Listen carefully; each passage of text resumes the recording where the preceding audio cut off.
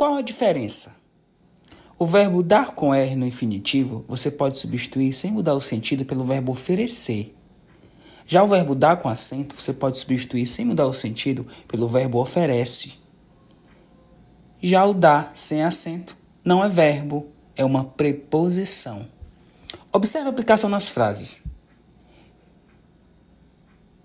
Quero oferecer um presente ou quero oferece um presente? Eu quero oferecer. Portanto, neste caso, é o verbo dar com R. Paulo oferecer um abraço em sua esposa ou Paulo oferece um abraço em sua esposa? Oferece combina melhor. Portanto, é o verbo dar com acento.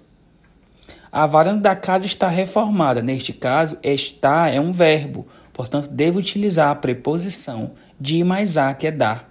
Portanto, a varanda da casa está reformada. O chefe oferecer dinheiro para a funcionária ou o chefe oferece dinheiro para a funcionária? Oferece combina melhor. Portanto, neste caso, o verbo dar com acento. Vamos oferecer a primeira aula hoje ou vamos oferece a primeira aula hoje? Vamos oferecer. Portanto, neste caso, é o verbo dar com R. Ela oferece aulas de canto ou ela oferecer aulas de canto? Ela oferece. Portanto, neste caso, é o verbo dar com acento. Interessante, né? Gostou da dica? Salva e compartilha.